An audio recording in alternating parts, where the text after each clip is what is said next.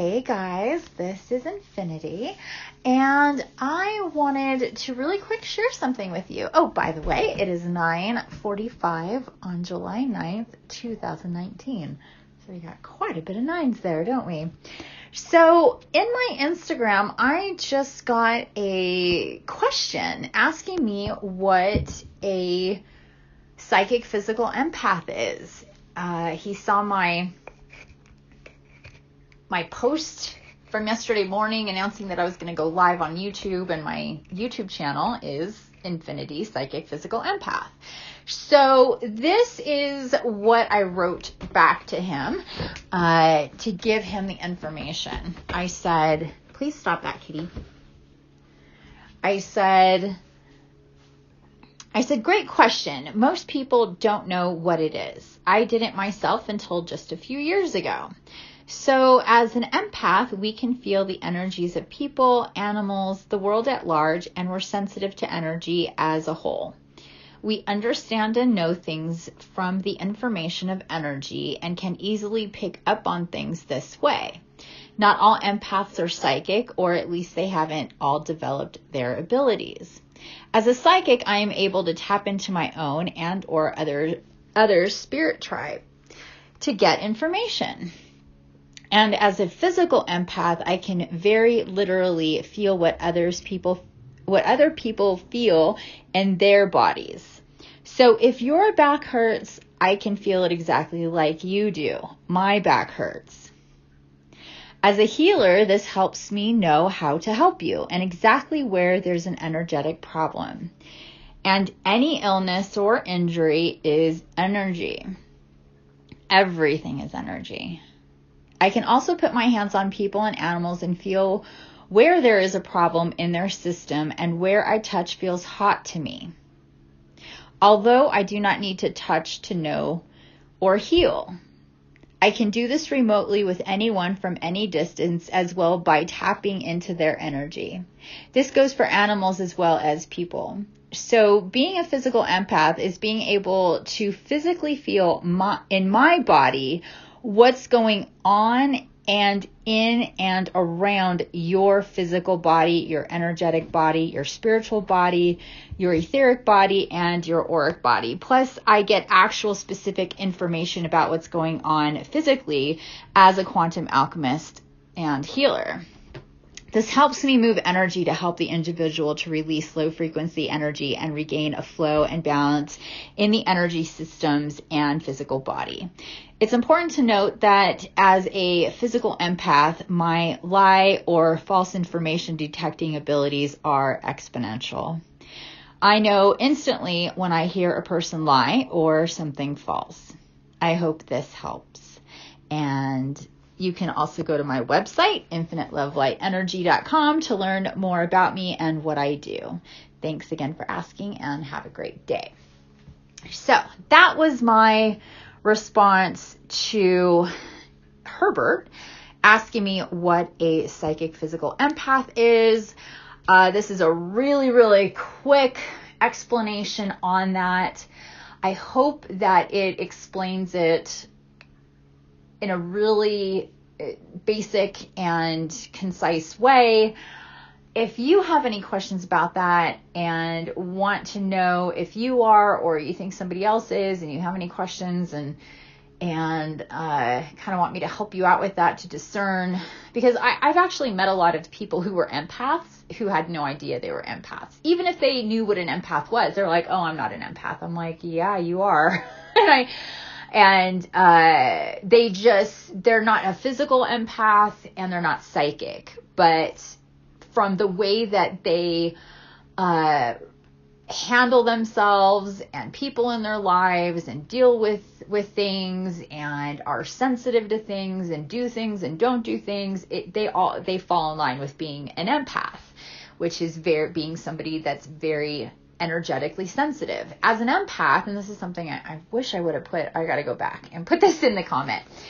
And this is something that a lot of people don't know. Uh, being an empath for a long time was thought to be something uh, theoretical as a an idea because there was it was noticed that certain people were different and had certain understandings and abilities. And so they, I don't know how this came about, but eventually uh, there was this thing called being an empath. And what finally happened a few years ago, uh, and I keep meaning to find that paper, but it's a paper that came out and it's a scientific paper and I love science. It's an it's a scientific paper and it says that after being able to, with technology being what it was, to go in and figure out what is up with empaths, what is up with highly sensitive people to energy, and they looked at the neurotransmitters in a in a super uh, blown blown up macro kind of way. They like went in really really tight into these teeny teeny teeny teeny tiny um, neurotransmitters that a lot of people associate with being in the brain, which they are, but they're also all over the body. That's how we feel pain. That's how our body knows what's going on and reacts to stuff. So we have we have these neurotransmitters in our electrical system going all throughout our body.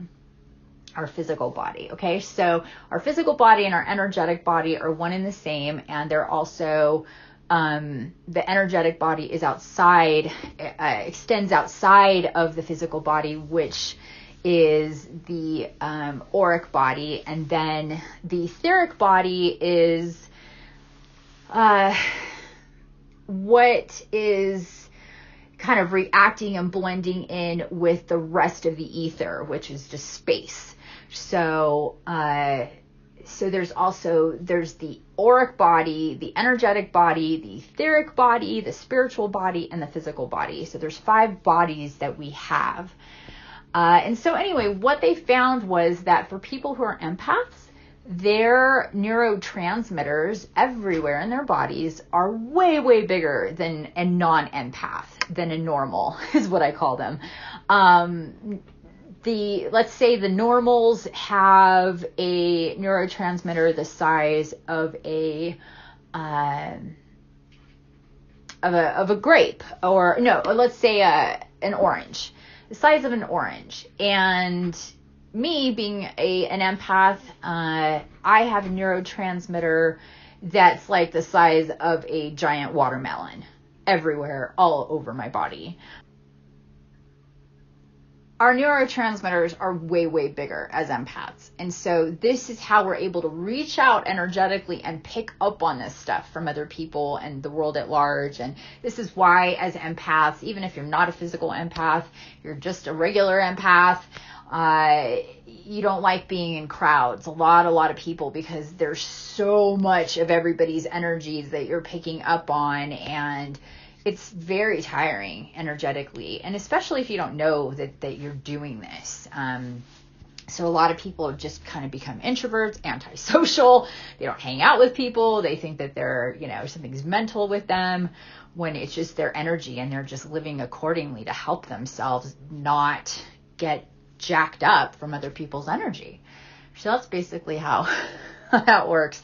But there is a lot more to that. So, uh, I encourage people if they're if they don't understand, if they think that maybe they're they may be an empath or maybe their child is an empath, it's so important to be aware of the people in your own life who are empaths for them to understand that they're empaths because they need to live different lives than normal people. Um, and I think from what I just explained, it's pretty obvious why, uh, and especially as children. Um, children who are empaths tend to do not so great in school because they're constantly around all these other kids with all their energy, and so they're labeled as ADHD and um, just having all sorts of, of issues.